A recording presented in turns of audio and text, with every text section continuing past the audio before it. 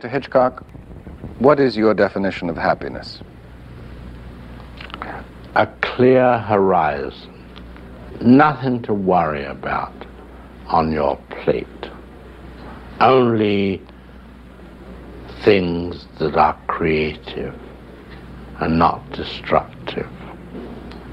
Think that's within yourself. Within me, uh, uh, I can't bear quarreling. I can't bear feelings between people. I think hatred is wasted energy. And it's all non productive. Some very sensitive. A sharp word said by, say, a person who has a temper, uh, if they're close to me, uh, hurts me for days. I know we're only human. We do go in for these uh, various emotions, call them negative emotions.